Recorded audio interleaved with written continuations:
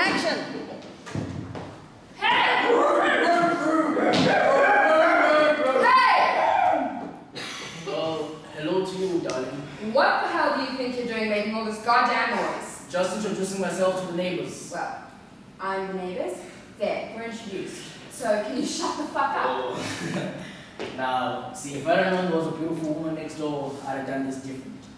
Let's start over. My name is George. What's yours? Just think of me as the person next door who likes it real quiet and we'll get along just fine. No, don't be like this. Tell you what, how about I take you on a date to apologize for my rules? Come on, give me your number. I'll call you up proper and ask you out and everything. You have my number. I did. Which number do you want, George? You got more than one? Yeah, I've got numbers coming out of my ears. Like, for instance, 10. Ten. 10, yeah, that's one of my numbers. It's the number of months old my little girl is. You got a little girl. Yeah, sexy, huh? Five is the age of my other daughter. Seven is the age of my son. Two is the number of times I've been both married and divorced.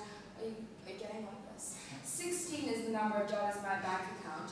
Four five four three nine four three. That's my phone number. And after all of these numbers, I'm guessing zero is the number of times you're going to call it. How the hell do you know your pen balance right off the top of her head like that? See, that impresses me. Nicely done.